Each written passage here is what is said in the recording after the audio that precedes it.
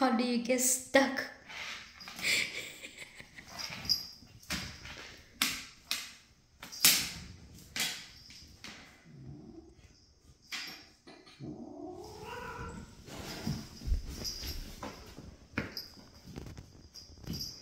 Yes,